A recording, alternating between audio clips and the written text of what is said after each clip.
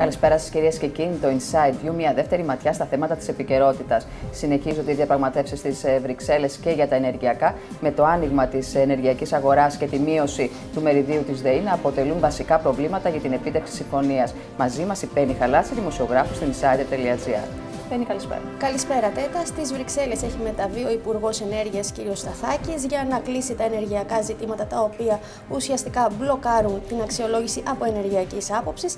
Το βασικό αγκάθι είναι η ΔΕΗ, η μείωση του μεριδίου της ΔΕΗ μέχρι το 2020. Πρέπει να μειωθεί στο 50% όπως όλοι γνωρίζουμε. Ωστόσο, το, ε, το θέμα που έχει προκύψει είναι η επιμονή των θεσμών να προχωρήσουμε σε πώληση των μονάδων και μάλιστα ζητούν η πώληση να ολοκληρωθεί το πρώτο εξάμεινο του 2019. 18.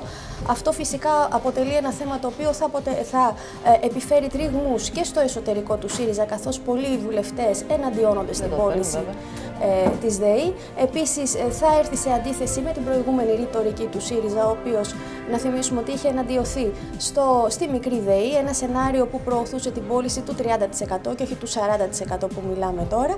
Και επομένως, σύμφωνα με το ρεπορτάζ του insider.gr, ε, μάλλον ε, κατευθύνεται το Υπουργείο, κατευθύνεται προς μία μέση λύση.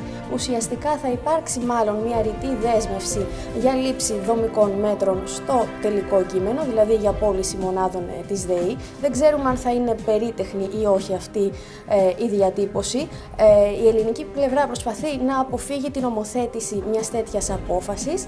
Ε, το ένα κομμάτι είναι αυτό. Το άλλο κομμάτι είναι ότι τελικά οι θεσμοί δεν δείχνουν να βλέπουν με καλό μάτι ε, την πρόταση της ΔΕΗ για δημιουργία θηγατρικών και πώληση πελατολογίου στον ανταγωνισμό. Αν και το Υπουργείο Ενέργειας πρόσφατα ανέφερε ότι περιμένει μια ολοκληρωμένη πρόταση από την πλευρά της ΔΕΗ για το θέμα αυτό.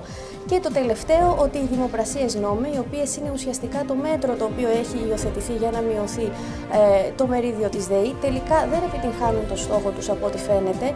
Να πούμε ότι πρόσφατα η ΡΑΕ ανακοίνωσε και τα αποτελέσματα του, Φε, του Φεβρουαρίου. Η ΔΕΗ έχασε ένα επιπλέον 1% από το πελατολόγιο της. Ουσιαστικά αυτή τη στιγμή βρίσκεται στο 88,5%, 88,58%. Ε, ο ενδιάμεσος στόχος για το Δεκέμβριο είναι το 75,24% και με τους ρυθμούς που προχωράει αυτό, ο στόχος αυτός δείχνει ανέφικτος.